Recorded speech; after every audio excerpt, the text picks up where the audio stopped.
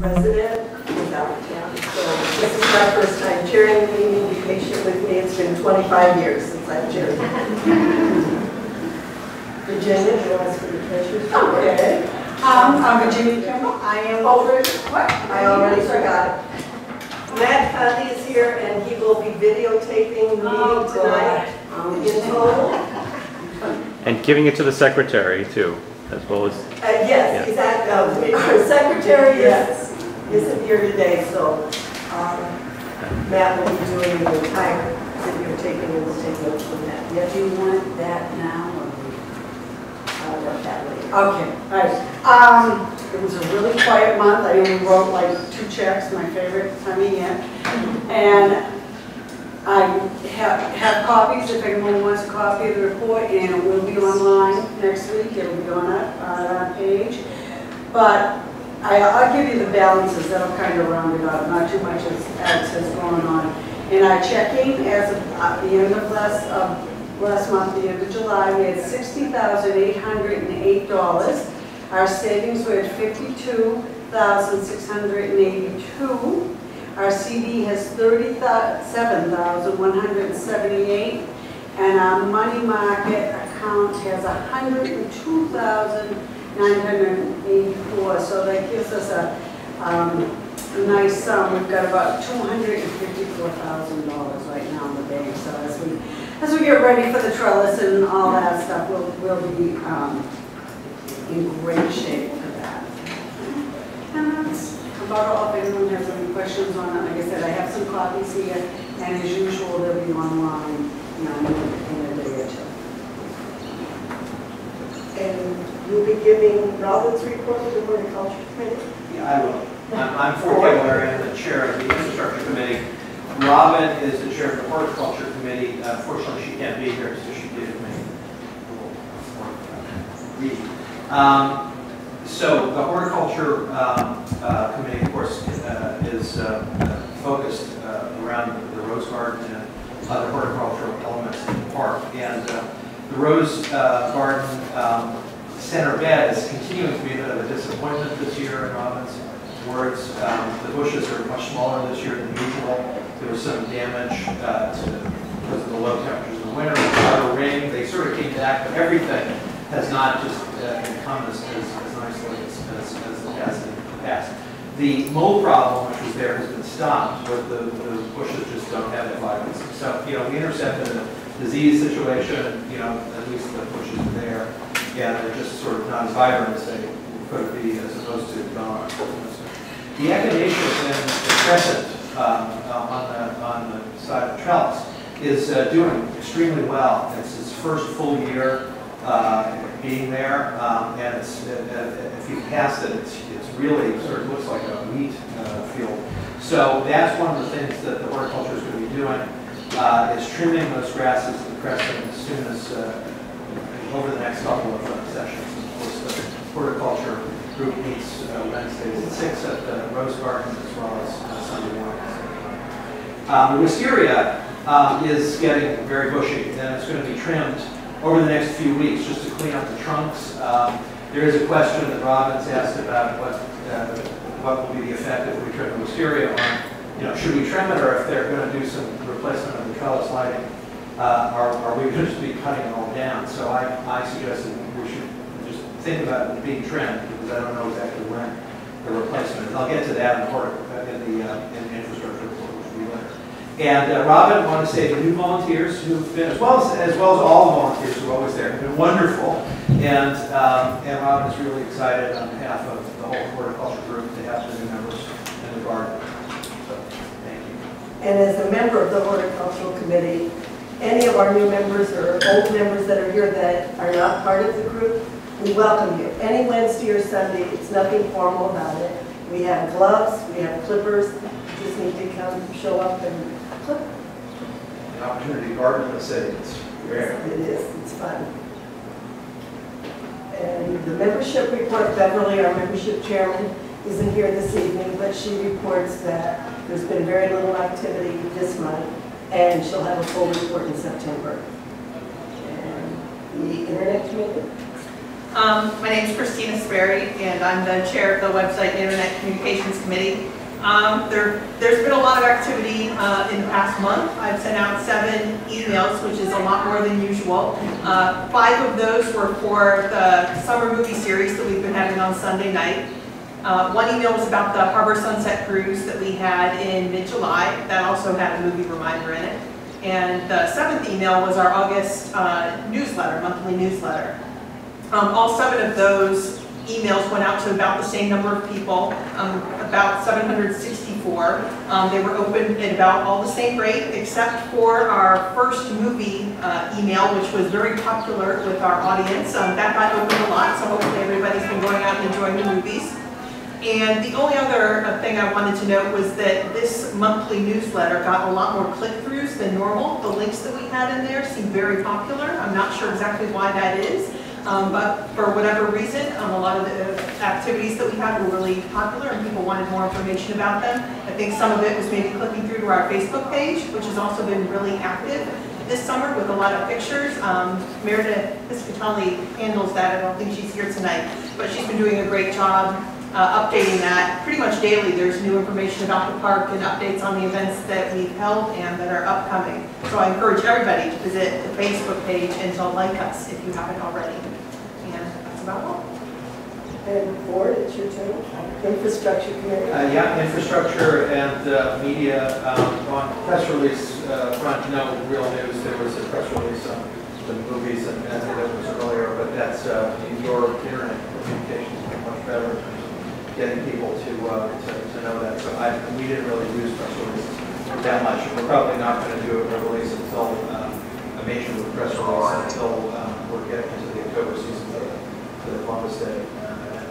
uh, uh, But in terms of the infrastructure, um, I just wanted to say that, uh, uh, first, I want to talk a little about IT infrastructure. Um, The, uh, the the switch to Google is almost entirely completed.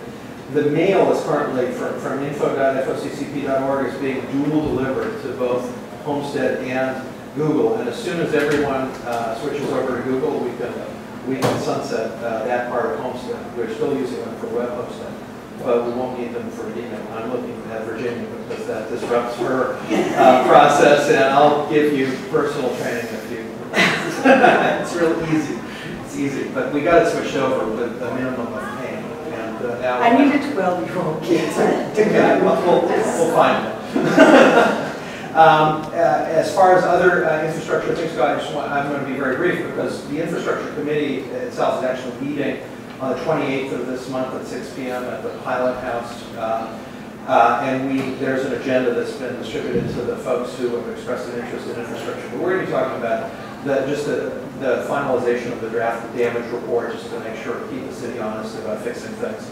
I did note that almost all of the, the the lousy trash barrels seem to be disappearing. There are only four left in the park, so at least they're listening us, uh, to us on that. Um, Meaning they're being replaced. they're being replaced by, by something that's better than, uh, you know, another um, uh, oil barrel. Um, So uh, that's good. Um, But, but the, uh, the main thing we're going to be talking about is the trellis uh, refresh. The trellis lighting is in its last year. If we could squeeze another year out of them, we'll be, we'll be, uh, um, we'll be lucky.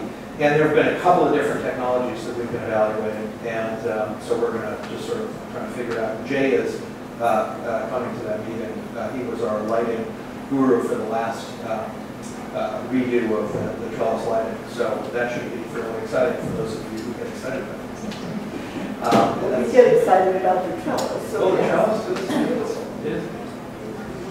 Okay, thanks so much. And Virginia, the update on the sunset, please. Okay, we had another fabulous night. We, I, we get good weather every year, like Demolition Dance.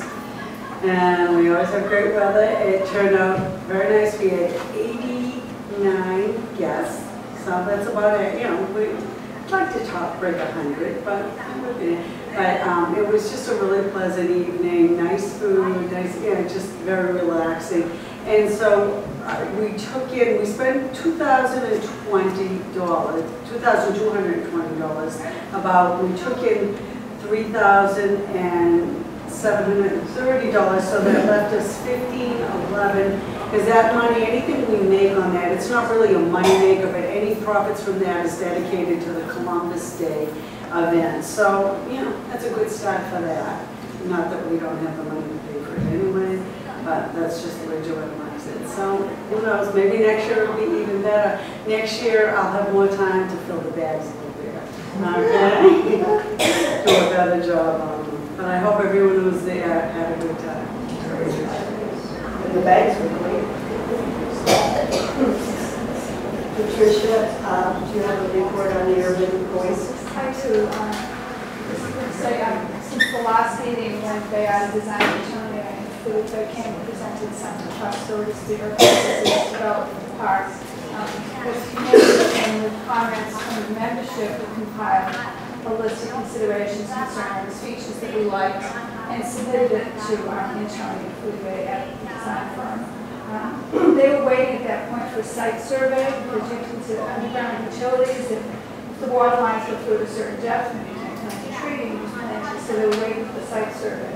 They've now received the site survey as of the beginning of this month. Um, They, they, they do have it. They have it, they've reviewed it, um, they're taking our responses into consideration, and they're looking at the site survey information, and they're developing some sketches based on, on our input. Um, The next step, um, the design firm, they're gonna put together a schedule, and they'll meet with the Urban Oasis Committee and Sherry Galveston, who's the design um, coordinator for the parks of the city. So, so I think we're moving along in schedule. I just think this design firm's been fabulous, they've been very responsive. Um, They've really moved the project along as we requested, so we made a good choice. Right, and they stayed in touch with us while they were waiting for the site That's right. survey. That's been the only lag. That's right. So we're on track. Yes, great. And actually, in Columbus Day at our big celebration, hopefully we can pass by the round circle of dead, uh, trees with dead flowers. As as Joanne likes to refer to it, and do a shovel or something, sure. Um, Speaking of, first we'll do movies in the park. August 18th is The Great Gatsby, which is the 1974 version, which should be great. Is there anyone in the group that would like to meet and greet that night, and introduce the movie? It's Sunday. Sunday. the 18th, is it the 18th? Yes. You need somebody with a loud voice. Yes, somebody with a loud voice. Because I'm so quiet, is that what you're No? Jimmy did a great job. I mean, and there was no mic. I mean, if you don't have a mic, No, I don't. There's no one. Well, he had a mic for. Yeah, they usually have a mic. We had a, You uh, a substitute Oh. by himself, so we were a little late getting started. Well, at least the screen didn't collapse for you. Good. Well, that's it, he set it up by himself. It was, you know, the people in the audience were like, last year, last week there were four people, what's going on? And like, then go help him, you know? Um, But there was a good number there. Yeah, Oh, yeah. yeah, I think it was a nice crowd. crowd. It was rowdy. And it's gonna be nice on Sunday night. Mm-hmm. Well, they have competition over the Flying Angel. Yeah. That's- Oh, That's that's true. So that's. But you'll get a good view of the screen. It's hard to see the angels around oh, it. Right, we gotta find- Oh, You can see both. They can have the wire right to the boat. Yeah. And I will, upcoming events is Columbus Day event, and we met on the 8th, had our first committee meeting, it was great. We're moving along, if there are anyone again in the group tonight that didn't get a chance to sign up and want to come and help, we'd love to have you, and I have a sheet that I'll be happy to pass around. Um, And we have our vendors in place and everything set, so it should be great. And We're praying for sunshine. Would you do your dance? I will. And then uh, another upcoming event, which is the highlight of our season, is our fundraising gala. Who's to speak for that tonight, Carrie? Both of us. Okay. So we're having our, um, it's not going, it's going to be a casino night, but it's going to have a different name, and we're looking for names. If anyone has a suggestion, so far, it seems to be uh, Monte Carlo night. And so we're having our annual event on November 16th at the Fairmont this year, Battery Wharf. And we have the entire downstairs. We have um, Grant there from Casino Productions again, who will have a room with gaming tables. We'll have a separate poker room. And then this year, instead of a disc jockey, we're going to have a quintet and a quartet um, playing during the night. Patron has um, graciously agreed to donate um, a bar for the entire evening, gratis, and also to donate pastries from EXO. So that should be lovely. And um, uh, Lori Cadigan is going to speak about the um, silent auction and the raffle.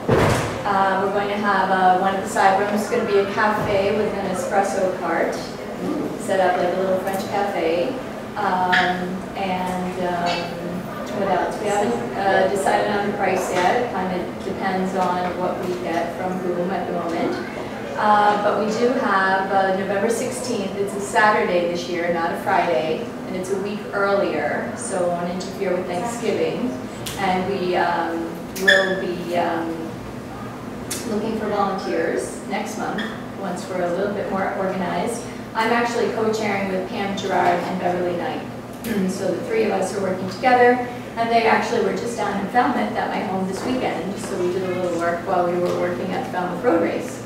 So, and Lori has a house there too, so, um, small world. Anyway, so, oh, and we're also gonna work with Chef Ari at Battery Wharf, um, on the menu, and he's wonderful. So he's going to make some suggestions. So it will be past hors d'oeuvres, two or three different, um, stations, and then our desserts and coffee. And, um, and as I said, Patron will provide signature drinks, which we're going to name, uh, for the park.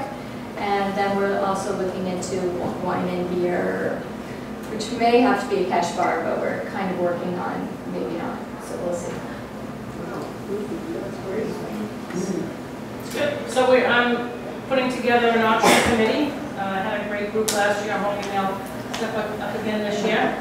Um, I put a, a uh, email out to Meredith, she did a great job trying to organize some of that last year. Um, we've got some things up our sleeve that will be exciting. We're gonna try to streamline some of the auction items so that we actually maximize our, uh, our, our monies coming in and don't disappoint people with things that really haven't been moving in the past, so we're, we're doing more particular this year. Um, but I think that it's gonna be a great time, and, um, like I said, we've got some surprises that I can see, so it'll be good. Yeah. And um, we have Lori Lilly here with us this evening. Thank you for coming, and she's going to make an introduction for us. Um, Just so that you know, I have volunteers for 32 years, um, and I decided that it was time that maybe somebody else should have some fun and enjoy it, and I should go play with my husband, who happens to be right behind me Preston. And, but it is not sold yet.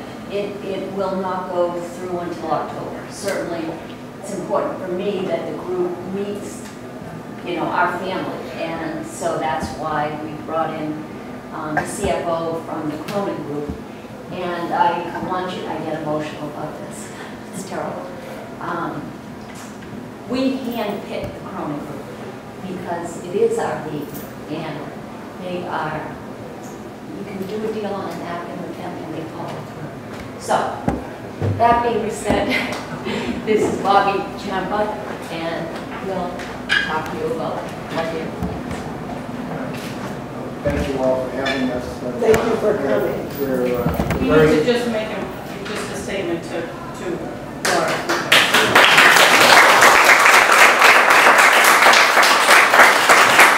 The, the, uh, the Cronin Group, uh, hopefully, uh, the end of October, will be transferring their investment uh, to the Cronin Group, the new uh, LLC. Uh, We're going to put together a Tia's uh, Waterfront LLC. Uh, John Cronin will be the the principal of the the company. Uh, John has had uh, multiple businesses in the Boston area, in the Seaport District. Uh, Some of his restaurants that are well known are Jerry at Seaport, uh, Temazcal, Tequila Cantina. Uh, John is also involved in the Development Corporation. He's got uh, involved in some energy corporations, he's got a lot of things going on. Uh, We are very excited to be to be able to participate, uh, to be with with the Friends of Christopher Columbus Park. Uh, Our intentions up front are really to keep everything status quo, not really changing anything. The Staff will remain the same, um, hours, uh, everything that's there now. The menu will uh, will keep everything the same. Um, We will consider down the road to maybe extending the the hours, or, you know, when we're open as far as how long in the year, whether we can go to November or December. But we'll inspect that, see if it makes sense. Um, But other than that, we're very excited, and we plan on participating and being part of the whole uh, Christopher Columbus Park. Um, one thing that, that I had passed along, um, the management team, including my general manager for 32 years, who happens to be my niece also, is staying with the group. And I have told them how important this group is and contributing and being a part of it. And John Cronin was all about that, so, so that's a terrific thing. And what we're here for is to ask for a letter of support um, We do have, they have a liquor license here next Wednesday, and if we could get a letter of support from this group, that would be terrific. Yes, and I, I mean, what I can do is contact Joanne and the board members, and yes, it's not a good one. Can I ask a question about that? Um, Before the, uh, is this, is the the hearing at, you know, with the li- liquor licensing board? Yes. It was, is there a hearing that you need to do beforehand with the neighborhood council? I believe it's the, I can't remember what jurisdiction is over there.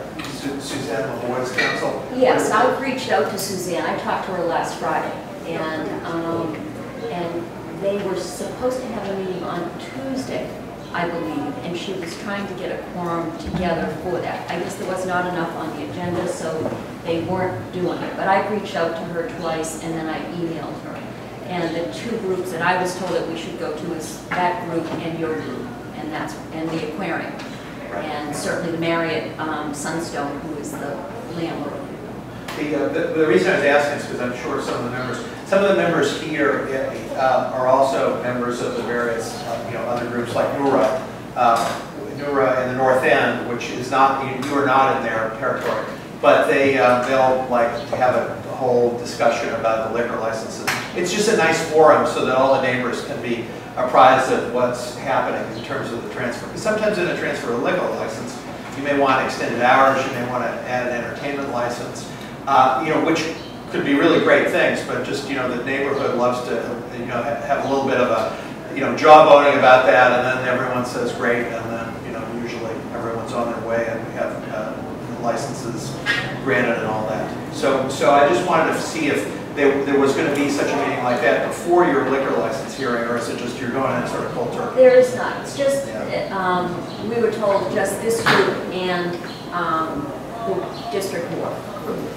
And and there will be no changes in the the entertainment license. I mean, What is there now is what our intention is to keep exactly the same. And the hours are not going, when he talked about Oh, hours, I meant that's the time of seasonality. the year. Right. The week closed October 15th, um, and they, I know John is staying open, wants to stay open at least through Christmas for Christmas parties. So if anybody needs a place for a Christmas party, um, Well, for the trellis lighting. But- And so, All right. absolutely, That would be but, um, I'm saying absolutely. No, I mean. I'm sure John is all for that. Lauren, He when's the meeting again? When is the, those Next licensing meeting? Next Wednesday. Sorry, I just The want to say, 21st. Thank you.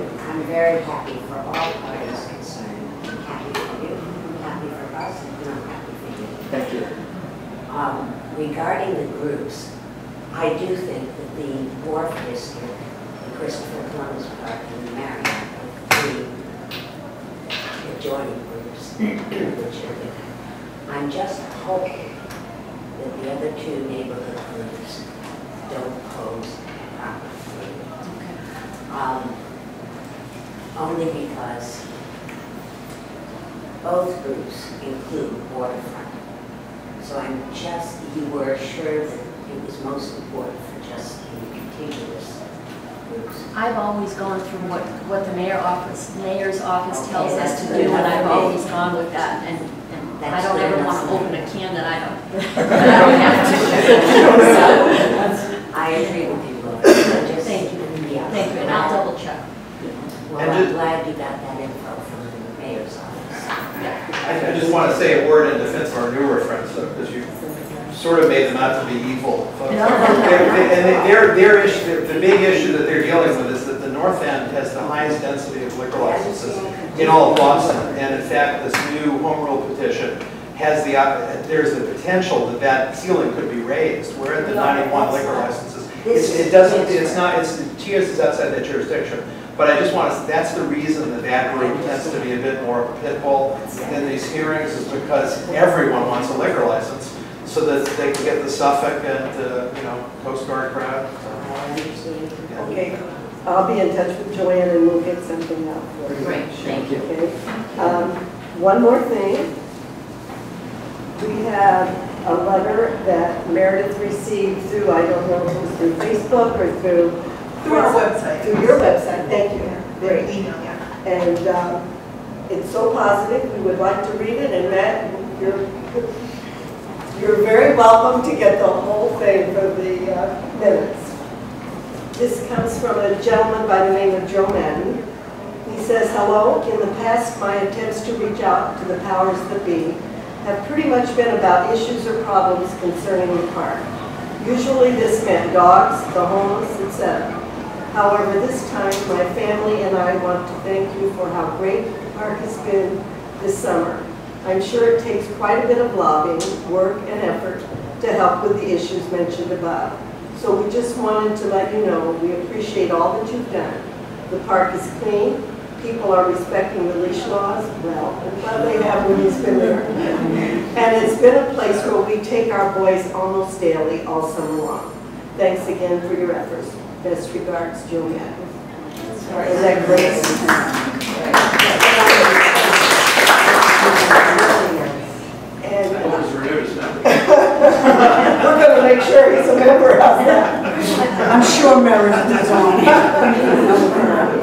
And I do have one more thing, I've been remiss. Um, I have a house full of company and I'm not as organized as I generally am. But the board discussed and voted on and decided that uh, after many requests by parents that use the top lot often, that we would um, provide um, picnic tables for the top lot. So Megan did a great job of finding uh, uh, large metal picnic tables. I can't give you the exact size. I had pictures of them, and they're at home at 145 Commercial Street, and I thought it would be rude to get up and leave the meeting. It's 48 or 48, to call my husband to come bring them over, so. uh, But in discussing the picnic tables, uh, Virginia and I and Megan were over measuring, we thought, gosh, there's room for two. And one isn't very much for four or five mothers sitting there, and another mother comes in. So we decided maybe it would be a good idea to have two. We will have, um, they're bright blue, they're beautiful. And we will have um, something on the tables that say, says that they've been provided by Friends of Christopher Columbus. Park. And, uh, yes, No, finish what you were going to say. and um, so what I would like tonight, we need a vote of the membership for, to spend more than a thousand dollars. And the tables will be, for two tables, and delivering the tables will be fourteen hundred. So I would like to ask for a vote. Is there, may I have ayes? Aye. Do we have anybody opposed? Thank you very much. Yes. I just have one question. Did you say that the table was metal Yes. and the benches that are around the table are metal also? Mhm. The only, only thing that I would bring up is, and this, and because I've seen it directly up in parcels eight and ten, the heat of the sun down there on those tables, is that, is a special kind of it's not? It's open, it's like mesh. And what about the seat though? They're the Because, same thing, they're open, they're mesh. all That's right. what they're made, they're, a- they're a commercial picnic table too. Yeah, but maybe commercial under some trees or something. Well, that's what, they're gonna have them on each no- side, they're gonna be on each, kind of end. one on each end under the trees. Oh, We measured out, there was Oh. plenty of room, because everyone shaded such an issue. You know, yeah, they'll be, yeah, and they're not gonna get as hot as like a, they're not a solid metal, it's that, it looks like they poke holes in it and stretch it, it's that kind of stuff. Remember that jizz that they have in the park now, Yeah. Well, one thing that's interesting though, is right next to the tot lot at Joe's, sorry to mention competition. Um, They, uh, they've swapped out all their tables for wooden, uh, they used to have those kinds of seats, and they've got rid of them all and put wood in there. Uh, Maybe they know something about like what happens in the sun, so that's an interesting point. Yeah. We can always say cushions if that's a problem. But I do know that those parcels, eight to you can't sit on those. And when, Those it's feel solid? They're solid, but it doesn't matter, metal is metal. If you're sitting on something with shorts and little kids with bare legs, it's still hot metal. We'll, we'll ask Megan to check it out, but I mean, we're not putting them out in this, the first thing we look at is where will we place them in the shade, because no one's gonna wanna sit in the hot sun. Yes, just, Joan. we, we have, what's that, sorry? Oh, did you get permission yet from the Parks Department? Yes, but wait, they're within the tot lot, and we've talked to them about it. Oh, okay, I just want to make sure that, that. They're, they're happy with anything we do, they'd like for us to expand the tot lot. Yes, Lori? We- We have the mesh seats, and even on Atlantic Avenue on that end, we never, and those are in the sun from two o'clock on, and we never have a problem with anybody. Thank you. Thanks. They're also at the Prince Street playground, the tarp playground, uh, the mesh tables. Oh, And I go there with my grandson, and it's been hot and they're fine. Thanks. Are they, are, well, are they the kind of table that can be secured down, or they? They're really heavy and the seats are, the benches are attached, it's like four, half round. Oh, Four round, they're, they were like six hundred and something pounds each. That's why they thought it would be better to buy two at once because uh, they they have to be trucked in. So by buying two, we actually save a couple hundred dollars in shipping because they weigh. And I apologize for not having the pictures. Maybe I should put them up on the bulletin board. Yeah, that's a good idea. I think I will. And then pass by and see. Yeah, that would be. They do. Um, May I have some, will someone move to adopt the minutes? Well, first, were there any changes Excuse me, thank you. to the minutes? Did anybody have any corrections to the minutes? Additions? Thank you, Christine. I have a So moved. Thank you, second. Second. All, all approve, yes. So the meeting is adjourned.